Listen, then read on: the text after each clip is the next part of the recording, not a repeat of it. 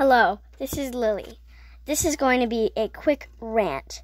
SpongeBob SquarePants sucks.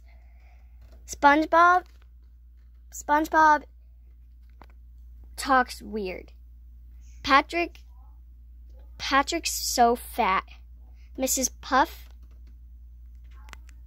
doesn't well, Mrs. Puff is also fat.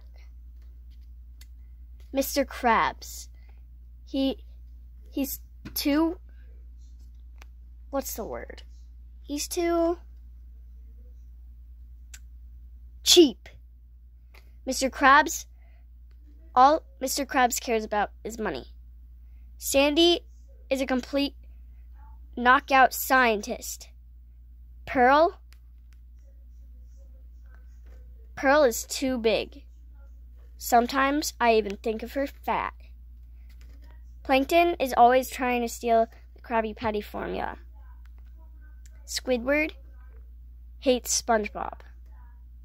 End of rant. Goodbye, like and subscribe. Hit the notification bell. Thank you. Thanks for watching.